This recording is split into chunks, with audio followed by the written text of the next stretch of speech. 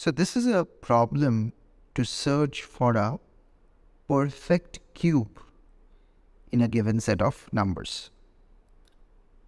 So let's see the problem statement. This is from ISI Entrance 2023. The statement is this, that there are 51 numbers n1 up to n51.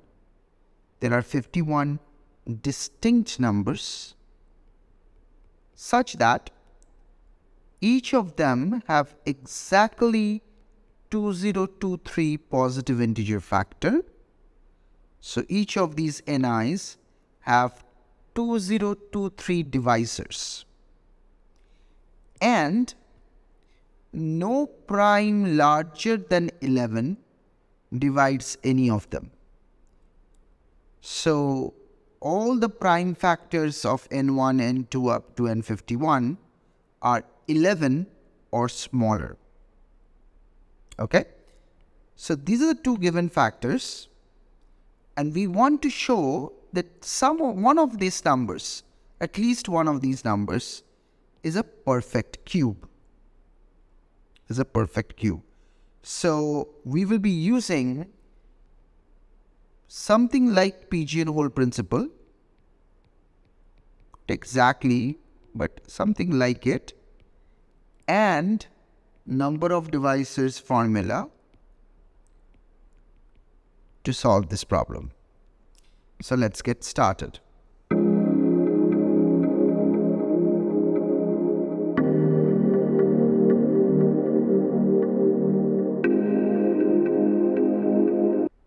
So the first thing to realize is that the numbers, the prime factors, the allowed prime factors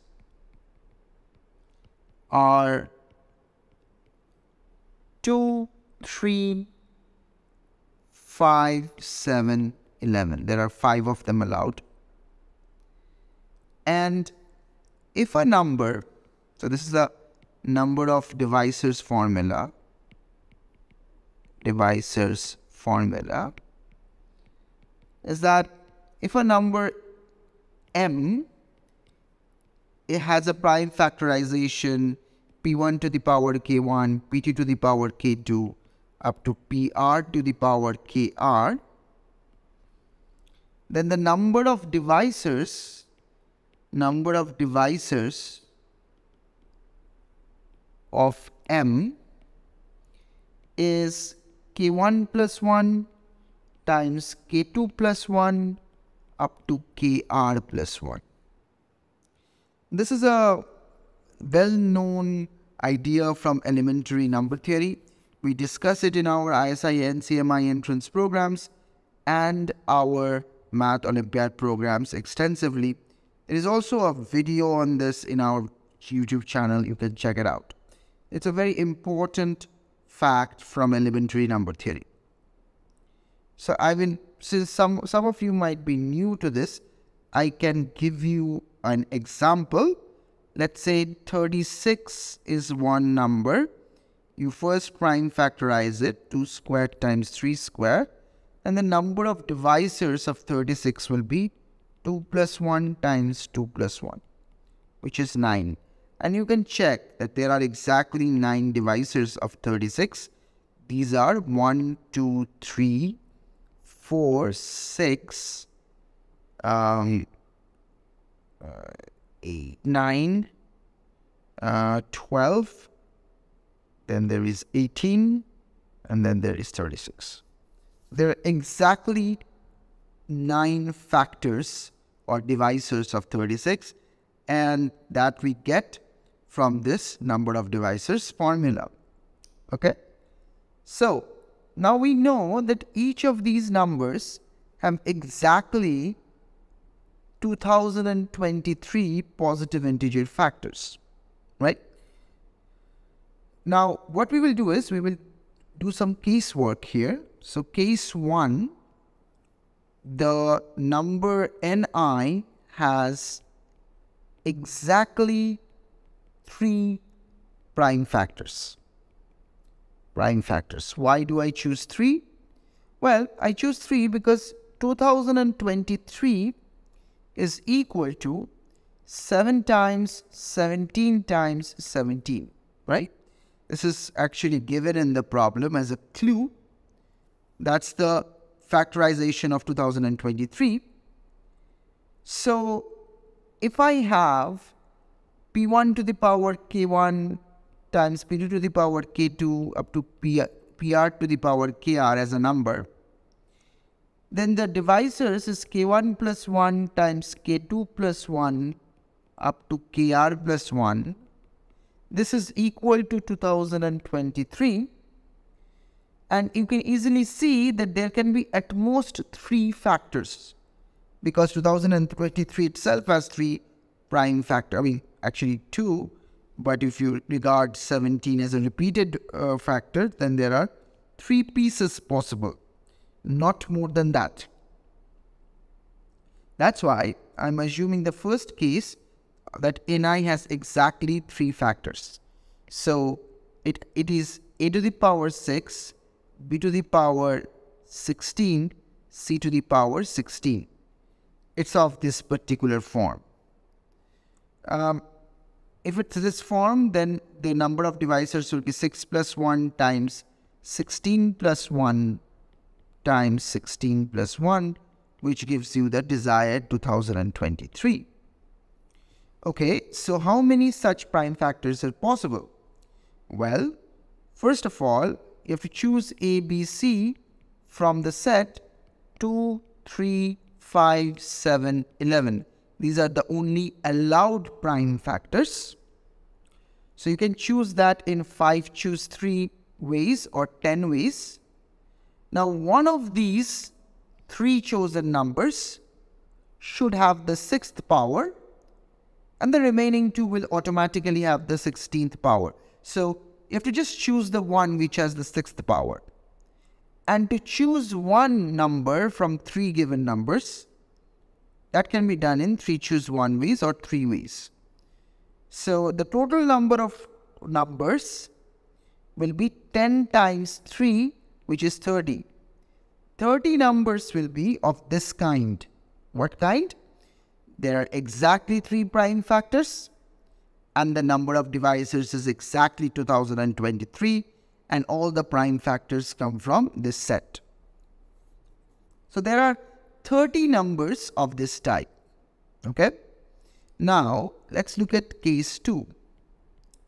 Case 2 is there are exactly exactly two prime factors.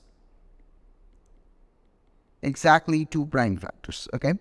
So that's possible if, if we have these two cases. We have a to the power 6 times b to the power 288. That's one case. And because in this case, the number of divisors will be 6 plus 1 times 288 plus 1. So this is basically 17 squared and this is 7 which is 2023. So this is one case. Or we could have, so this is like the sub case 1. And then the sub case 2 is simply a to the power 6 times 7, 7 times 17 minus 1. 7 times 17 minus 1. b to the power 16. That's all. So again, we will have the number of divisors 7 times 17 minus 1 plus 1, 16 plus 1, which is again 2023. Right? So in this case, in this case, this is a to the power 118 b to the power 16. So how many ways can we do this? Well, first we have to choose A and B from the set 2, 3, 5, 7, 11. So that can be chosen in 5 choose 2 ways, which is 10. Now, of course, we have to decide which one is A and which one is B. So the total number of cases is 10 times 2, which is 20. Okay, Similarly, this one will have 20 cases, subcases, and I'll come to this one, come back to this one in a moment. The case 3, case 3 is exactly one prime factor, one prime factor, which is simply a to the power 2022. It will look like this. And the number a can be chosen from the set 2, 3, 5, 7, 11. So there are five cases here, or five such numbers, five numbers, right? Now, let's see this carefully. The number of the case 1, this type, they look like a to the power 6, b to the power 16, c to the power 16. This is not a perfect cube because though a to the power 6 is a perfect cube, b to the power 16 is not a perfect cube and c to the power 16 is not a perfect cube. So the number as a whole is not a perfect cube as there are 30 such numbers. Now, if you come to case 2, in subcase 2, there are 20 numbers and notice that these 20 numbers are also not perfect cubes because their powers are not multiples of 3.